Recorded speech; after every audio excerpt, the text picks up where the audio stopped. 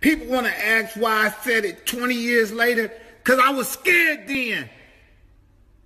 Pop would have whooped my ass. Beijing, you lied. You fucking lied. You said my beard was gonna look like Rick Ross. You fucking lied. I had to paint this shit on my face.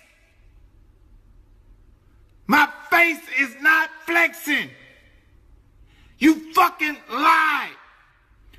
Y'all said my beard was gonna be fluffy. Look at this shit. I lost weight, but I'm still look like I'm 95. Beijing, you fucking lied. You said I was gonna be the shit. Look at my beard, bitch. It ain't flexing.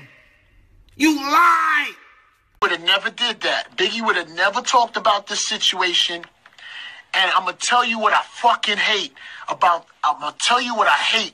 And you want to? Uh, people always want to ask me why I said it 20 years later. Laid, laid them both down.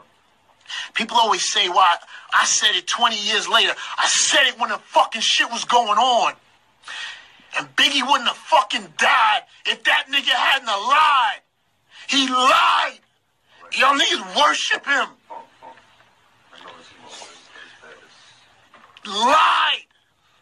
Led to Big's death. Never, ever said nothing about him. He fucking lied.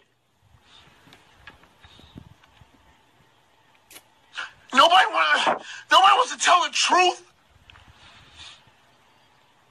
C said, absolutely not. Biggie was hurt when Pac got at him.